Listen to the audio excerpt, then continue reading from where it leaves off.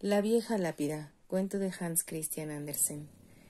En una pequeña ciudad, en casa de un hombre que tenía su propio jardín, estaba sentada toda la familia en círculo. Era por la tarde, en la estación en que se suele decir que se alargan las tardes. El tiempo era aún suave y templado. La lámpara estaba encendida, las largas cortinas colgaban delante de las ventanas, en las que había macetas de flores, y la luna brillaba hermosísima. Pero nadie hablaba de ello ahora. Todos estaban hablando de una piedra grande y vieja que había en el patio, al lado de la puerta de la cocina, donde las doncellas ponían las cacerolas de cobre recién lavadas para que secaran al sol y donde solían jugar los niños. En realidad era una vieja lápida. Bueno, dijo el señor de la casa, yo creo que es del viejo convento en ruinas. Vendieron hasta el púlpito, los epitafios y las lápidas.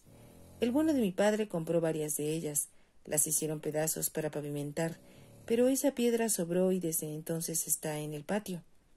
Se ve muy bien que es una lápida, dijo el mayor de los niños. Aún se ve un reloj de arena y un trozo de ángel, pero la inscripción que había está casi totalmente borrada, menos el nombre. Preben y una S, mayúscula que hay debajo, y un poco más abajo pone Marte. Pero no se puede leer nada más, y lo que queda solo se ve bien cuando ha llovido o cuando mojamos la piedra. Dios mío, es la lápida de Preben Svane y su esposa, dijo un anciano que por su edad habría podido ser el abuelo de todos los que estaban allí. Sí, ellos fueron de los últimos que enterraron en el viejo cementerio del convento. Era un matrimonio anciano y honesto de los años de mi infancia. Todos les conocían y todos les querían. Eran el matrimonio más viejo de la ciudad. La gente decía que poseían más de un barril de oro, aunque llevaban ropas modestas, de la tela más vasta. Pero su lino era deslumbrantemente blanco. Eran una pareja deliciosa, Preven y Marte.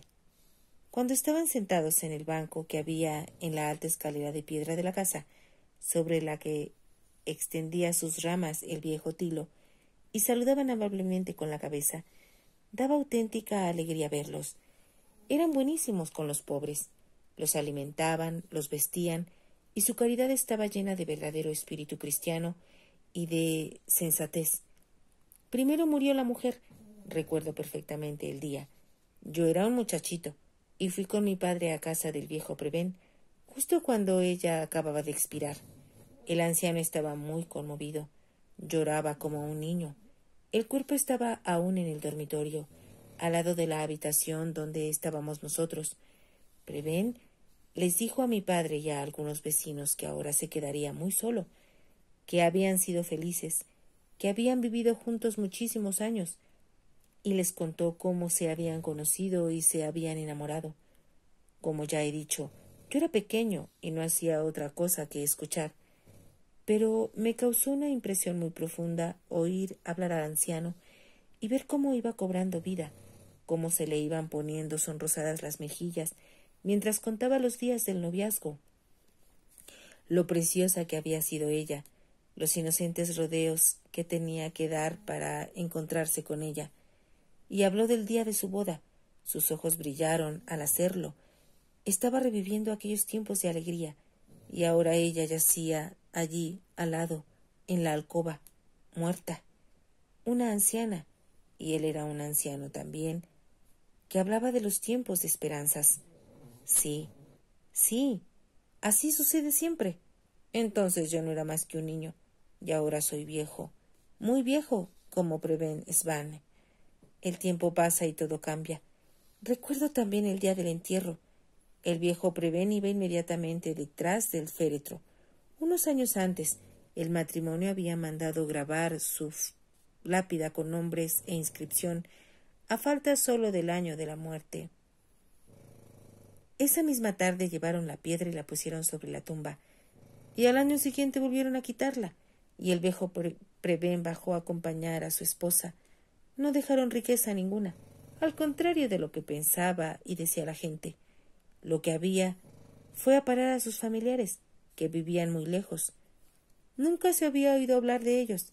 La casa de entramados con un banco encima de la alta escalera de piedra debajo del tilo fue derribada por orden del magistrado, pues estaba demasiado ruinosa para dejarla seguir en pie. Luego, cuando a la iglesia del convento le pasó lo mismo y quitaron el cementerio, la lápida de Preven y Marte, como todo lo que allí había, fue a parar a quien quiso comprarla, y dio la casualidad de que no la hicieron pedazos, sino que aún sigue en el jardín para que jueguen los niños y para que la doncella ponga a secar la vajilla.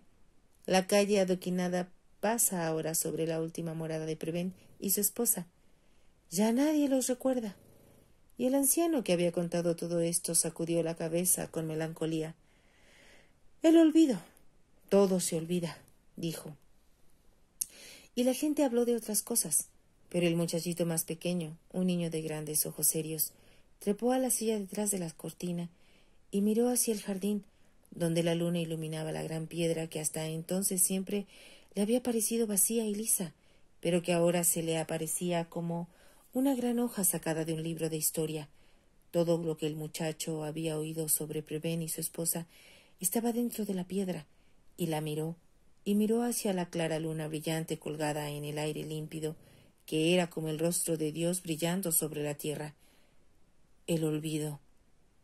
Todo se olvida se oyó en la habitación, y en ese mismo instante un ángel invisible besó el pecho y la frente del muchacho y le susurró suavemente Guarda bien esta semilla, guárdala hasta que madure.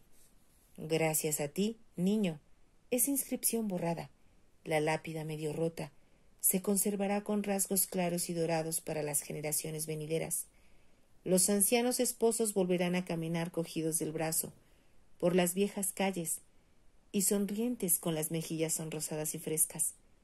volverán a sentarse en la escalera de piedra debajo del tilo y saludarán con la cabeza a pobres y ricos. La semilla irá creciendo desde este momento hasta convertirse, al cabo de los años, en poesía. Lo bueno y lo bello no se olvida nunca. Sigue viviendo en leyendas y canciones.